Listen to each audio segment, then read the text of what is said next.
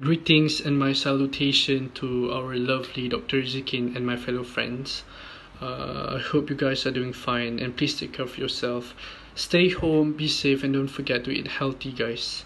Anyway, my name is Muhammad Anwar bin Idhan Nawawi with matrix number 047732 and today my group will be presenting about one of the most important things in doing research which is the collection of textual artifacts.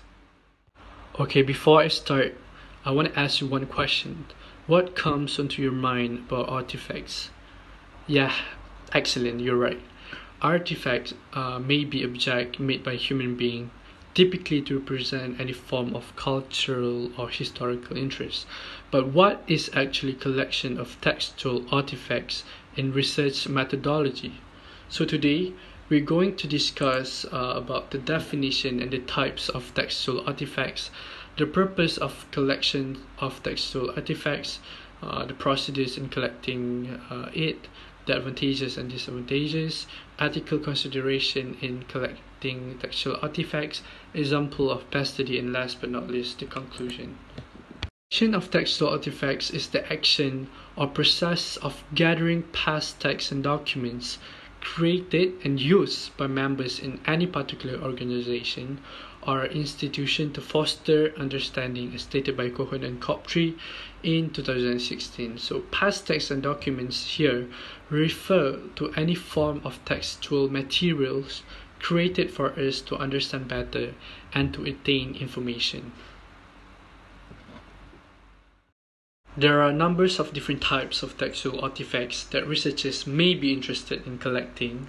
For example, the first one, documents in public sphere. For instance, we have pictures with text, articles, for instance, article regarding history of English language, obesity, politics, or etc.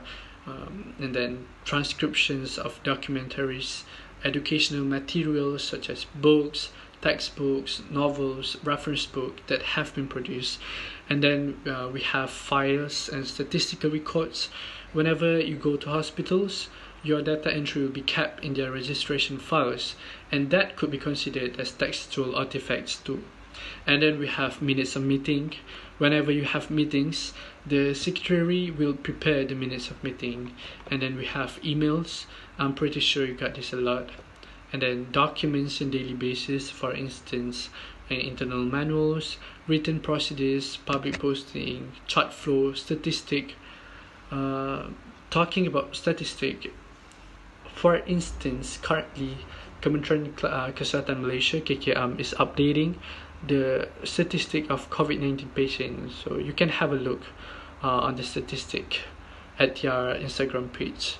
And last but not least memos and these are some of the examples of textual artifacts. Assalamualaikum. Hi everyone. My name is Sarah Syafiqah binti Daud with metric number 047774. Okay, so for my part, I will be explaining the purpose of collecting textual artifacts. So, of course, textual artifacts is a source of information. However, by just the name textual artifacts, it doesn't necessarily need to have data in it. For example, an unfilled form to apply for a loan, to apply for a university, for example, that unfilled form can also be a textual artifact. Textual artifact has many purpose and it can represent a lot of things. Uh, specifically, uh, it depends on where you are trying to find your textual artifacts and what is your research about. So there are five functions of textual artifacts uh, quoted by Bowen in 2009. First of all, to provide data and information.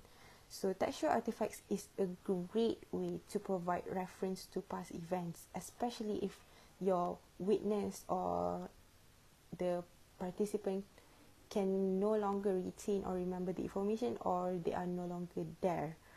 Uh, for example, uh, a historical insight, if let's say the event has uh, hap- uh, happened, the ev- sorry, the event happened maybe a hundred, two hundred years ago, and there are no longer surviving or living uh, human beings that participate in that event. So, textual artifacts is a great source to provide insight on particular events and information. Second, to suggest questions and ensure research is critical and unique.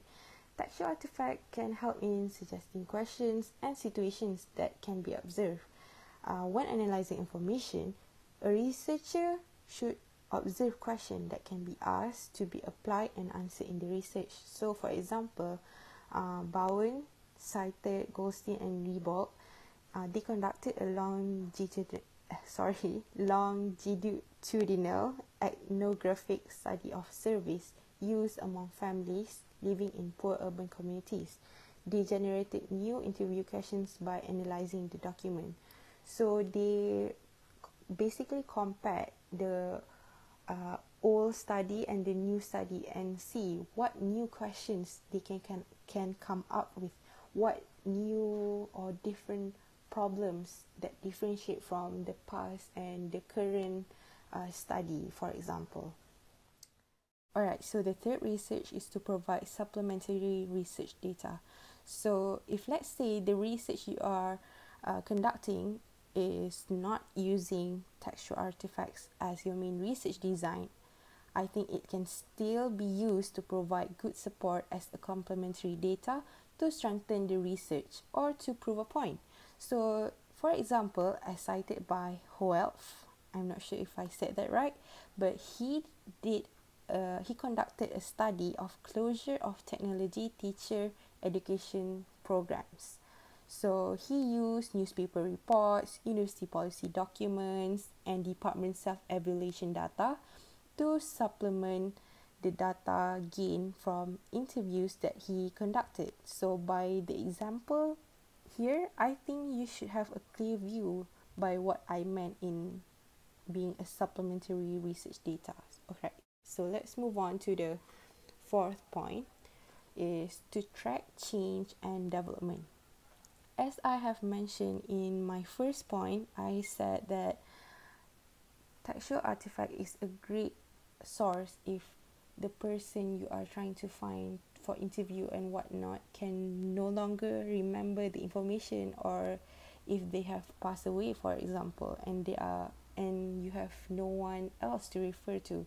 So this is another big point. Textual artifact can be a window to the past and a source for the future. You can compare data analysis and findings to identify any changes in development or anything from the past research and the research you are currently conducting. So, as cited by Bowen, Yin believes that even minor changes can show great developments. This can be applied when conducting longitudinal case, meaning studying the same case at different periods of time. Alright, so maybe you want to conduct a study of comparing the Prime Minister right now and the first Prime Minister of Malaysia, Tun Abdul Razak. But Tun Abdul Razak is, of course, no longer here. He passed away a long time ago. So you can use textual artifacts. You can f- try to find textual artifacts to observe, track changes and development. This can be anything from books about him, from his diaries, shows about him, and etc. Alright, so other than that, the researcher may also examine periodic and final reports if they are available to get a clear picture of how an organization or a program fared over time. Alright, so the last point is to verify findings and act as proof. By analyzing textual artifacts, a researcher can verify findings or validate evidence from other sources. Typically, sociologists would use this method when the evidence or findings maybe contradict a current research. The researcher should investigate further. When information of different sources overlap, it increases the credibility of the findings. So, if you want to find uh, support in terms of your study, in terms of theory or data, you can use textual artifacts to verify your research. Assalamualaikum and good day to everyone. I'm Nur Dalila Khairunnisa binti Muhammad Lutfi with the metric number of 047772. So for my part, I will be explaining the ways in planning and collecting your textual artifacts. I have found two strategies that can be used as guidelines since there are no specific rules to follow. So the first guideline is from Campbell's two steps in collecting information via artifacts. The first step is to obtain permissions to access the artifacts. By doing so, you actually protect the people's right and can still get quality answers to your research questions from their artifacts. You will want to ensure that you protect your own legal rights and those of your employer or clients, as you will no doubt become privy to information that is governed by intellectual property law. The main reason why you need to obtain permissions in the first place before even accessing any artifacts is because you want to get a license in order to use the artifacts. If you did not obtain any license or even permissions, then your work that uses the artifacts that you somehow managed to obtain is considered as a copyright infringement, which then could lead to any legal actions.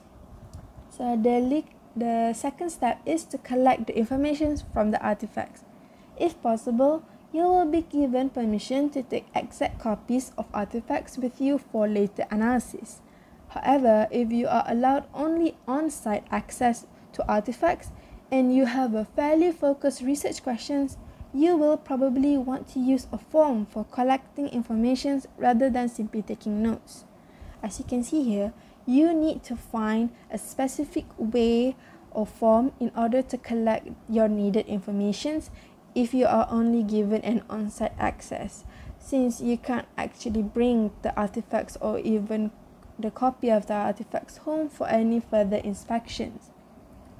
So moving on to the next guideline from Goetz and LeCompte that is entitled the four-step guidelines for artifacts collection. The first step is to locate the artifacts. Search for your required artifacts either online and offline before trying to obtain the essential permission and accessing the artifacts. For example, your research is about the history of English language. So you can start your search on the textual artifacts that is related to your topic by visiting the local library or even analyzing past researches that can be found online. The second step is identifying the materials. Researchers had to make sure whether the textual artifacts fits with their research aims and questions. For instance, you can examine the materials by skimming and scanning the keywords that can be used for your research. By doing by doing skimming and scanning, you can know whether the artifacts are suitable for your research or that you need to find a new artifact. The third step is analyzing the artifacts. Begin analyzing the textual artifacts by using the document analysis procedure for a much more detailed process. You can see and point out which information can be used for your research and which information is invalid for your research. The differences between this step and step 2 is that in step 2, you just want to know whether the artifacts can be used and while in this step, this is where you critically analyze the whole textual artifacts in order to find valuable information that is connected to your research. The fourth and the fourth and final step is evaluating the artifacts. Evaluate the information gathered in the textual artifacts whether it is advantageous for the researchers to use or not. This is where the researchers can clearly see whether they understand the strength and weakness found in the textual artifacts. We can actually know whether the researchers clearly understand uh, the textual artifacts when they are stating their ideas and also their reasons in their research in their research. So that is all from me. Thank you. Now we move on to advantages and disadvantages of collecting textual artifacts. My name is Nura Anis Khaleeda binti Zain Abidin with metric number 047770. So we'll start with advantages first. So first of all, it is cost efficient. Using documents and records can be efficient and inexpensive because you are predominantly using research that has or that has already been completed. The second advantage of collecting textual artifacts is the coverage.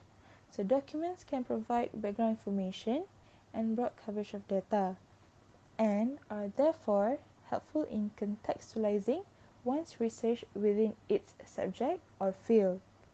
They also cover a long span of time, many events, and settings. So the third advantage of textual artifacts is that it is a stable and a reliable source of data. So by saying that documents are stable and a reliable source of data, it means that they can be read and reviewed for multiple times and still remain unchanged by the researcher's influence or the research process. The investigators presents or the researchers presents doesn't alter what is being studied. Documents then are suitable for repeated reviews. Next, it is a very efficient method. Document analysis is less time consuming and is therefore more efficient than other research methods. It is because it requires data selection instead of data collection, as you can just refer to the past studies that has been completed. Besides that, obtaining and analyzing documents are often far more time efficient than conducting your own research or experiments. The fifth advantage of collecting textual artifacts is the availability of it. Many documents are in the public domain, especially since the advent of the internet, and are obtainable without the author's permission. This makes document analysis an attractive option, especially for qualitative researchers. So the last advantage of textual artifacts is the exactness or the accuracy of it.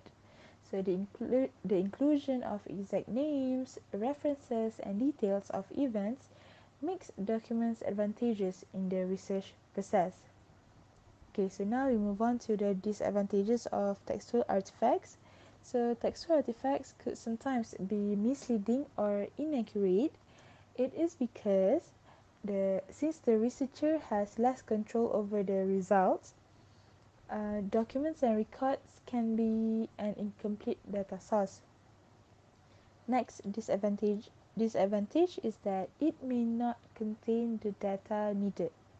So textual artifacts may represent a different kind of data from the documents you find when doing a search of the existing literature or sometimes it may only provide a small amount of useful data or sometimes none at all. Sometimes there are gaps or sparseness of documents leading to more searching or reliance on additional documents than than originally planned. So the third disadvantage of textual artifacts is the low retrievability of the documents. Documentation is sometimes not retrievable or the retrievability is difficult. For example, access to documents may be deliberately blocked and need the author's permission first for it to be readable or unblocked. Next is bias selectivity.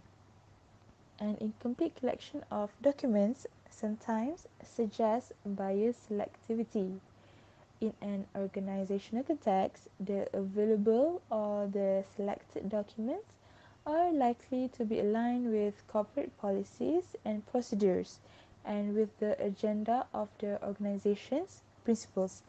However, they may also reflect the emphasis of the particular organizational unit that handles, handles record keeping. For example, human resources. So now moving on to the next part. Assalamualaikum and hi everyone. I'm Nora Auni binti Rashid, matrix number 047984. So I'm going to continue with the next part, which is ethics in collecting textual artifacts. So there are a few ethics in collecting the textual artifacts. Let's move on to the first ethic, which is be honest in reporting the data. So what does it mean by be honest in reporting the data? It means from the first procedure until the last procedure, you need to be honest. Be honest with yourself. So, what should you do? You should report the data honestly. Honestly report the result, method, procedure, and also publication status. Do not fabricate, falsify, or misrepresent the data. So you need to remember whatever you found while collecting textual artifact is what should be written in your research. Um, so for example, you found a fact um, while collecting the data. However, it might be different from your understanding. So in this case, you still need to follow what you have found and you should read more uh, and make sure you understand the facts instead of you interpret it based on your understanding. You cannot do this because um, your understanding might, if you interpret it based on your understanding, it might change the whole meaning of the facts that you have found. Let's move on to the second ethics, which is keep an open mind while collecting textual artifacts. So, when you are collecting textual artifacts, you should keep an open mind in gathering the information and results. So, what does it mean by this? It means even though the information might be different from what you believe, you still need to stick to the information that comes from a valid resources. So for example, you found a fact from the first website and it is written in a very short paragraph and easy to understand. And then you found another website saying the same thing, but it is written in a long paragraph and it is hard to understand. So you cannot just take it from the first website just because you don't want to read the second website because it is written in a long paragraph. No, that's not the way. You still need to analyze the second paragraph, eh, I mean the second website, as long as the website is from a valid resources. Because you need to remember when you are analyzing um, textual artifacts, it comes from various resources. So you need to to be open. You need to just gather all information. You cannot choose which website you want to read uh, just because the website is written in a short paragraph. You cannot be lazy. You need to read everything uh, as long as it is from a valid resources. The next one is be careful in analyzing the textual artifacts, so you need to avoid careless errors and negligence. Carefully and critically examine the information. So, as we all know, language is a symbol that conveys messages to the readers. Some words are used by the author to give a specific meaning to the reader. However, sometimes we as a reader might interpret the sender's original message differently. For example, when we are reading something, the author might use jargon words that not all of us understand, right? So we need to search for the meaning of the words that we didn't understand. We cannot simply just guess the meaning because that might change the whole context of what the author is trying to tell us. The next example is we use different ways of writing in social media. So we as the reader, we need to pay attention to how forms of written language are used in participants' social world. For example, Facebook, Twitter, and many more. Next, do not plagiarize. You cannot use unpublished data or result without permission. You need to give a proper acknowledgement of credit for all contributions in the research. Make sure you use the correct way in citing the sources and have the list of references at the end of the research, which means you cannot alter important information that you have gathered from the textual artifact. For example, all the names, the dates, the places that they have they have mentioned in the textual artifact, you need to use them all. The last ethics is confidentiality. So you need to protect the confidential communication such as papers or grants submitted for publication, personal records, trade or military secret and passion records. So you need to ask the permission from the owner or as mentioned earlier, if you wanted to use it, then you need to properly follow the procedure. You cannot simply take it because when you use it for your research, it means everyone's gonna read your research, right? So some textual artifact might be very confidential. So that is why you need to ask the permission first before you use it. Assalamualaikum and good day I beat to everyone. My name is Amir Shafie bin Amdan with the matrix number 047916. Today I will present to you guys the example of past study that uses the collection of textual artifacts. The title of the study is Constructing a Contextual History of English Language Technical Writing. This study was written by Stephen Crabbe and it was published in 2012. Moving on to the abstract of this study. The aim of the study is historically contextualizes the emergence and development of English language technical writing from pre-industrial Britain onwards, looking in particular at how to or instructional writing. Next is the methodology. The researchers use document analysis or triangulation in combination with other qualitative research methods to supplement data from other sources, such as participant or non participant observation and physical artifacts. Hey guys, it's me again, Muhammad Anwar bin Idahan Nawawi. So in conclusion, we have discussed a lot of important things in collections of textual artifact, artifacts, I'm so sorry. So when analyzing texts and artifacts, the researchers may focus on how and for whom the artifacts is created and what is included and not included in the document and how the, the document is used. So this is to ensure that the infos are relevant to your research and to avoid bias in perceiving the textual artifacts. So documents or textual artifacts should be analyzed in tandem, which means should be analyzed with other data collected so that your materials are sufficient and systematically organized. We have to remember that we should never use uh, the document resources as surrogates for other kinds of data. We cannot, for instance, through, uh, learn through records alone how an organization actually works and operates day by day. Equally, we cannot treat records, however official, as firm evidence of what they report, as stated by Atkinson and Coffey in 2017. For instance, if you want to do a research on how hospital administration operates, you cannot just depend on the written SOPs. You have to make thorough observation onto the whole organization so that your research will be more reliable. I think that's all from us. If you have any questions needed to be clarified, uh, don't hesitate to ask us by commenting in the comment section below. Thank you and have a great day, everyone. I miss you guys.